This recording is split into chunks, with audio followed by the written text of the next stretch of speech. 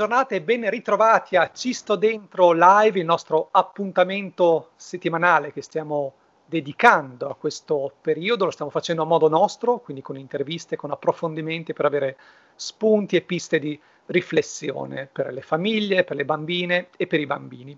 Oggi guarderemo all'oggi, ma cercheremo anche di eh, guardare un po' più avanti, alle prossime settimane, quando tutti ci auguriamo qualcosa cambierà, riusciremo ad aprire finalmente le nostre porte di casa e anche se non sarà tutto come prima, ripartiremo, insomma, ad avere una vita eh, che potrà eh, guardare al futuro. E per parlare di tutto questo con noi abbiamo un esperto di bambine e di bambini. È un po' strano parlare con lui di casa perché lui è il papà delle città dei bambini, quindi è da sempre, da sempre spinge le bambine e i bambini a uscire di casa, a farlo con criterio, mettendo al centro quelli che sono tutti i diritti fondamentali dell'infanzia. Diamo il benvenuto a Francesco Tonucci, pedagogista e ricercatore del CNR. Ciao Francesco. Ciao Federico, grazie. Allora, eh, come dicevo, eh, con te eh, da sempre si parla di città dei bambini, oggi invece parleremo di case dei bambini. Sono passate ormai tante settimane in certo. cui ci troviamo in questa situazione Secondo te stanno cambiando le nostre bambine, i nostri bambini? Eh, certamente, certamente. I bambini e le bambine eh, io credo che sono più resistenti o come si usa dire adesso resilienti di, noi, di voi adulti e di noi vecchi perché secondo me poi hanno una capacità di una vita fantastica più forte della nostra e quindi riescono anche a inventarsi qualcosa per vivere in qualche modo anche questo periodo. Certo che lo stanno soffrendo. E tutti i messaggi che riceviamo dai bambini sono che sono stufi. Che tempo deve essere secondo te il tempo passato a casa? Deve essere tempo della scuola, deve essere tempo del gioco, deve essere tempo di altro. A me piacerebbe che fosse tempo di altro eh, e che fosse eh, serio come un gioco perché sia un tempo utile. Non mi sembra utile giusto pensare che sia un tempo per giocare nel senso, almeno come lo intendiamo noi adulti Giocare vuol dire perdere tempo, mentre giocare per i bambini è il, l'impegno più grosso della loro vita. A me piace molto citare l'articolo 15 della Convenzione dei diritti del bambino, che nella versione italiana già dice abbastanza perché dice i bambini hanno diritto a dedicarsi al gioco, ma nella versione inglese, lo dico male, ma insomma dice to engage in play, to play, e dice di, devono impegnarsi nel gioco. Allora è, è, divertente pensare che nella convenzione non si usa mai questo verbo se non quando parla del gioco, non si usa per la scuola, non si usa per la salute, non si usa per, si usa per il gioco. In, in, qualche modo il gioco viene presentato da, da, questa carta ufficiale, da questo trattato internazionale come un dovere dei bambini. Ecco. Allora a me piacerebbe che il tempo che i bambini passano a, a casa, ma anche domani quando potranno uscire che passano fuori e che passano a scuola sia così impegnativo come quando giocano.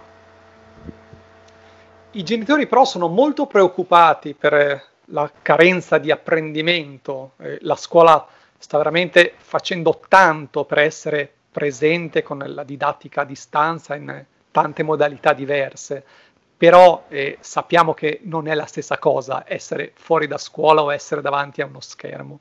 E quindi i genitori eh, sono molto preoccupati, ci scrivono, ce ne accorgiamo nelle chiacchiere che facciamo con altre mamme o con altri papà, non imparano abbastanza. Ecco, secondo te è una preoccupazione reale? È una preoccupazione assolutamente legittima se la riferiamo al rapporto tra i bambini, ma anche tra i ragazzi e la scuola sempre. Cioè, quello che si dovre- dovrebbe preoccupare i genitori è che normalmente i bambini e le bambine imparano poco, cioè se noi confrontiamo, ma questo non lo dico io, ci sono studi, ci sono ricerche e vale quasi in tutto il mondo, dove più, dove meno, e sarebbe interessante capire perché in qualche posto più, in qualche posto meno, Ma eh, se noi confrontiamo il tempo che i bambini passano a scuola, cioè il numero di ore al giorno, i giorni alla settimana, i, le settimane nel mese, i mesi nell'anno e quanti anni di seguito passano nella scuola e quello che imparano, è un conto a perdere, a perdere.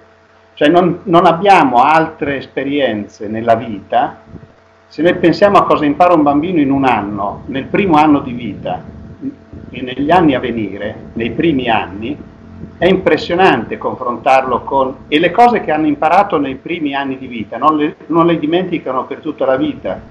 Molti degli apprendimenti scolastici non si vede l'ora che finisca la scuola per dimenticarli. Io parlo della mia esperienza di ex alunno, ma vedo anche l'esperienza dei miei figli, dei miei nipoti. Per cui la preoccupazione legittima per dire tutti insieme, la famiglia e la scuola, facciamo qualcosa perché questi bambini, questi ragazzi imparino. Per cui non lo vedo come una preoccupazione di questi giorni, anzi.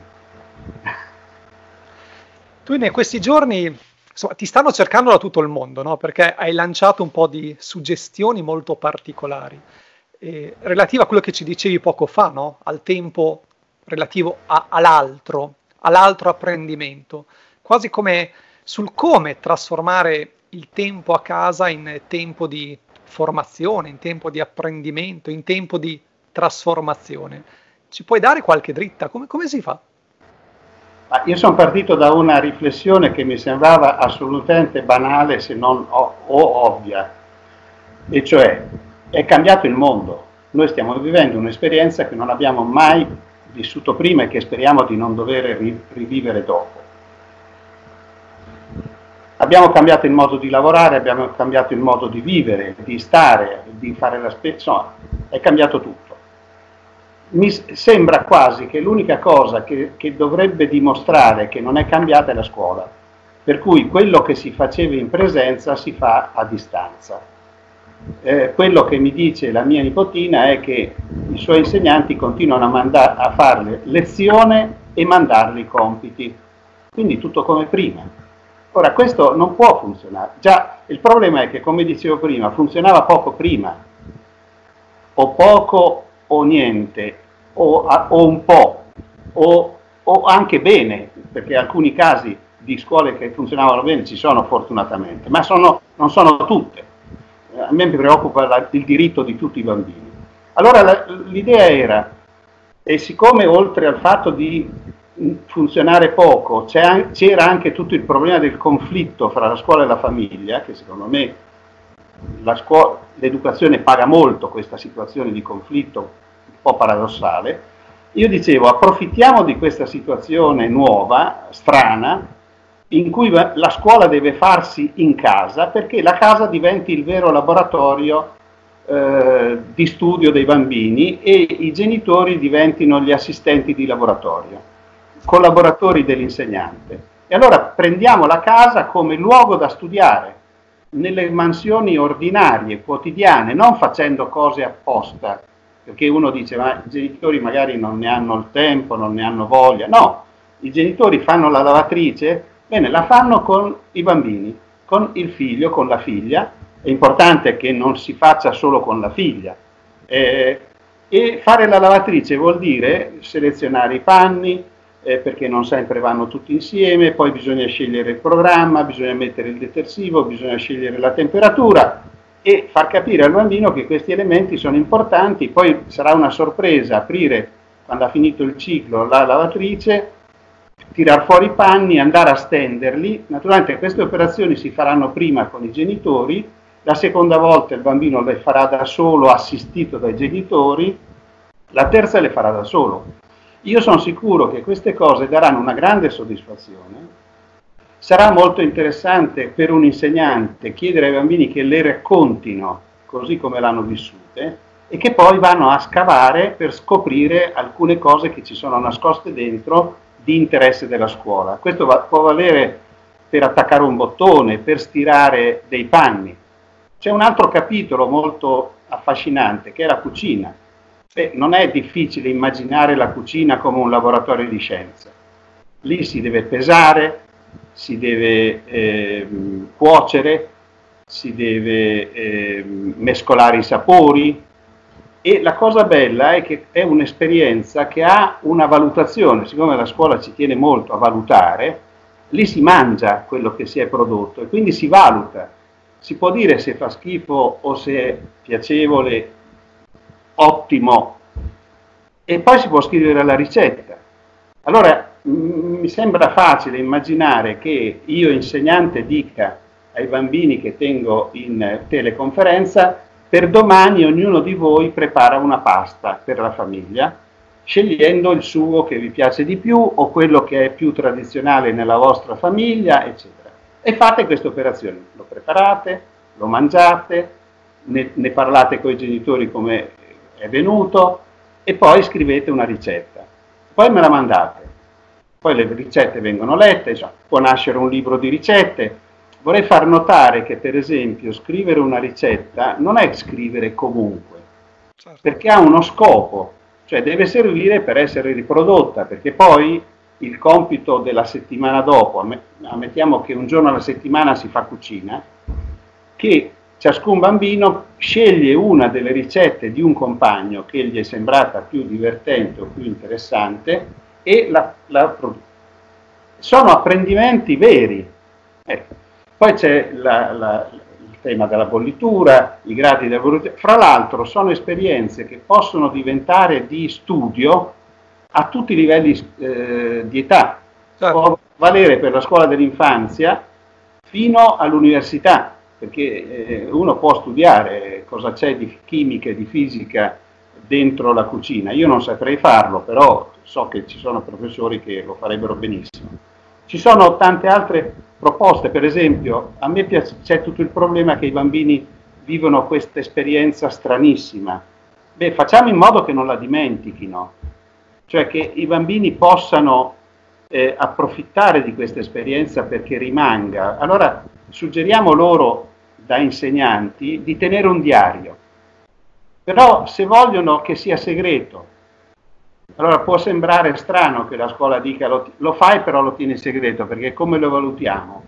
Beh, non lo, non, lo, non lo valutiamo, lo regaliamo in nome dell'articolo 16 della Convenzione che dice che il bambino ha diritto a una vita privata. E glielo diciamo. E allora perché lo scrive? Beh, lo scrive perché è un suo sfogo e magari gli suggeriamo di andarlo a scrivere in un, in un angolino della casa che può riservare per sé, magari si fa una capanna, si, fa, si sposta due seggiole ci mette una coperta sopra, sposta un mobile, cioè in modo che possa anche scappare, possa nascondersi.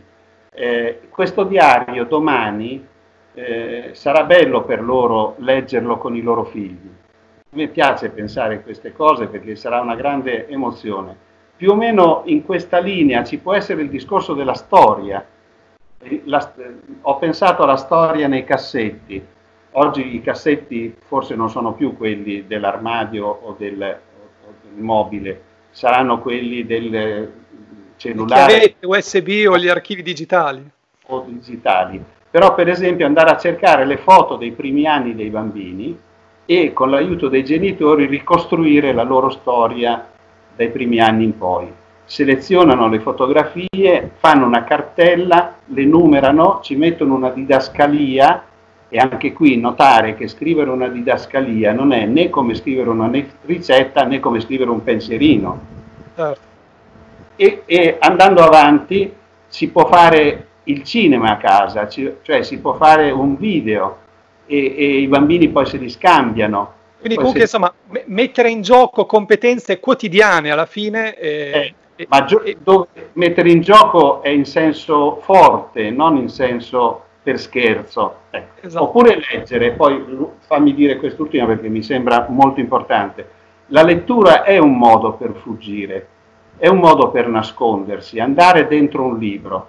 Per cui anche qui, per carità, non chiediamo ai bambini di leggere il libro di testo o leggere il libro di lettura Mo- diciamo che scelgano un libro a casa se ce l'hanno, che chiedano ai genitori di andare a comprare un libro se le librerie sono aperte come dovrebbero essere, ma non in, ancora in tutte le regioni.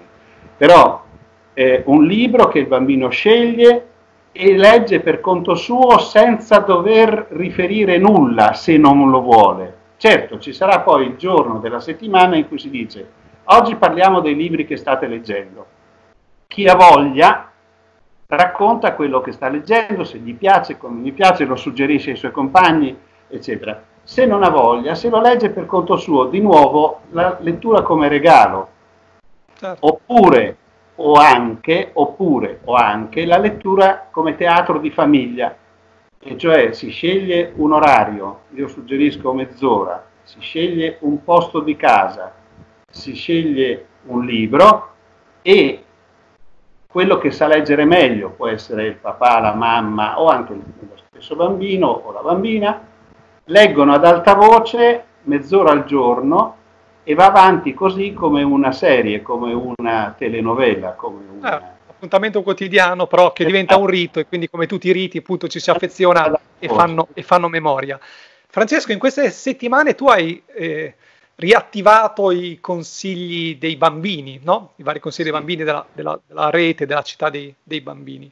E, ehm, so che molti di loro ti stanno scrivendo, vi stanno inviando lettere, disegni. Beh, eh, non a me, non a me, voglio dire, io appena è cominciata questa eh, chiusura, questa, questa quarantena, ho, ho scritto alle, no, alle, città della nostra rete, sono circa 200 nel mondo, eh, dicendo che è, è, assurdo che si stava consultando i pedagogisti per sapere cosa dovevano fare gli insegnanti, gli psicologi per sapere cosa dovevano fare i genitori e nessuno pensava di consultare i bambini. Allora ho detto riconvochiamo i consigli virtualmente in modo che possano loro dire ai loro sindaci che cosa stanno provando, che cosa manca, che cosa desiderano. E cosa e, stanno dicendo? Cosa stanno chiedendo? Ma è interessante notare che quasi una delle cose principali che i bambini manifestano è il loro disagio di fronte ai compiti. C'è una bambina eh, di Buenos Aires che diceva vorrei avere quattro mani per fare tutto quello che mi chiede la maestra. Allora, ehm, mentre tut, allora, da una parte questa lamentela e dall'altra il grande desiderio di rivedere i loro compagni. Allora la scuola deve essere consapevole che manca perché mancano i compagni. E questo non è bello, perché per trovare i compagni sarebbe meglio che i bambini uscissero di casa, si trovassero per strada e giocassero insieme, come è sempre stato. La scuola dovrebbe fare qualcosa di più che essere un posto di incontro. Però effettivamente oggi la scuola manca, ma manca per questo. Eh, dicono anche eh, al sindaco di creare delle, dei, dei, luoghi o, delle, eh, o, dei modi di stare insieme in qualche ma naturalmente sono richieste dei bambini che non hanno una facile risposta perché con tutto il problema della, di, della distanza eccetera. Anche Noi se... abbiamo chiesto anche ai sindaci di parlare con i bambini e devo dire che molti sindaci l'hanno fatto, molti l'hanno fatto per loro conto senza nostro merito come la prima ministra finlandese, quella della Nuova Zelanda, eh, la sindaca di Barcellona, quella in qualche modo legata anche a noi, però poi ci sono molti sindaci, c'è per esempio il sindaco di Latina che ha fatto un, fra i primi un bellissimo discorso, avendo aperto il Consiglio dei Bambini lo scorso anno, si è rivolto a loro chiedendo il loro aiuto. Ti chiedo, stiamo quasi per salutarci, di ci avviamo verso una riapertura, così ci auguriamo, lo speriamo, non sappiamo ancora bene come sarà, sarà molto graduale, sarà complicata, ci saranno regole ehm, e dovrà esserci un'attenzione particolare nei confronti delle bambine e dei bambini. Forse le nostre città, le nostre abitudini eh, dovranno cambiare per andare a loro incontro. Eh, c'è un punto che secondo te è più di fragilità rispetto agli altri su cui porre attenzione da subito? Ma secondo me la cosa che, eh, che, purtroppo c'era prima e rischia di esserci adesso e non vorrei che peggiorasse ancora è il crollo delle autonomie di movimento dei bambini. Cioè, ci sono state molte proteste perché non si pensava come i bambini potessero uscire. È buffa questa cosa, perché i bambini non uscivano neanche prima. Cioè quando i bambini potevano uscire, uscivano per la mano di un adulto. Quello non è uscire. Allora a me piacerebbe chiedere due cose. Una la chiederei alla politica e all'amministrazione locale e una ai genitori. Alla politica direi che sarebbe bello pensare a un premio da dare ai bambini per lo sforzo che hanno fatto e per come si sono comportati in questi più di due mesi, non so poi quanti saranno alla fine, di clausura, regalando loro le città così come sono oggi. Tutti mi dicono che la città di Roma è bellissima, io purtroppo vedo solo un pezzo di, di, di strada sotto casa mia. Allora, se per un giorno o due le teniamo ferme, e lasciamo che i bambini escano. Regaliamo due giorni di città vuote ai bambini e alle bambine per dire grazie per quello che hanno fatto e per come si sono comportati. E ai genitori chiedo fateli uscire da soli. Questo comunque, anche se la prima promessa che io chiedo non verrà mantenuta, il giorno che potranno uscire, fate loro un regalo e dite per favore mi vai al supermercato a prendermi questo, eh, e questo lo dico almeno dai, dai, sei anni in poi, ah, diciamo, secondo me potrebbe anche andare bene prima, però almeno dai sei anni. Diciamo ai bambini vai fuori, fai questo, vammi a prendere il giornale, i bambini vi guarderanno con uno stupore impressionante, credo che sarà un grande premio per voi, perché se lo faranno poi lo ricorderanno per tutta la vita. Grazie davvero Francesco, facciamo nostre le tue suggestioni e chiudiamo con un regalo perché forse non tutti lo sanno, ma Francesco è anche un eh, disegnatore, firma queste vignette bellissime da sempre con eh, i bambini al centro, si firma Frato e questo è il regalo per noi. Se questo virus continua, rischiamo di imparare troppo. Mettere le condizioni che ho detto io, non con i compiti. Grazie davvero a Francesco Tonucci per essere stati con noi in questo appuntamento di Ci sto dentro live. Noi come sempre ci ritroviamo la prossima settimana, sempre di giovedì, però vi chiediamo di seguirci giorno per giorno con tutte le nostre indicazioni e dritte che trovate sul sito e come sempre potete scrivere le vostre lettere alla ministra e mandare anche fotografie, video, racconti di come state vivendo questi giorni di quarantena ci sto dentro. Grazie Francesco, ciao. Ciao, ciao Federico, ciao.